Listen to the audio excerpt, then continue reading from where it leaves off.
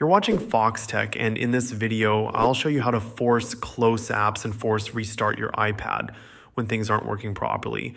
Let's get right into it. If an app becomes unresponsive or starts acting strange, the first step is to force close it. Swipe up from the bottom of the screen and pause in the middle until the app switcher appears. You'll see previews of all your open apps.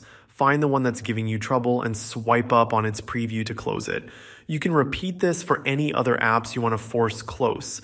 But sometimes the issue isn't just one app. If your iPad's screen is frozen, completely unresponsive, or apps keep crashing, you might need to force restart the entire device.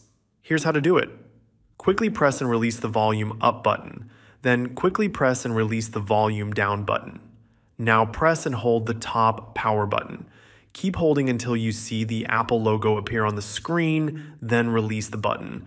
This doesn't erase anything, it just forces your iPad to reboot and can often fix temporary software issues.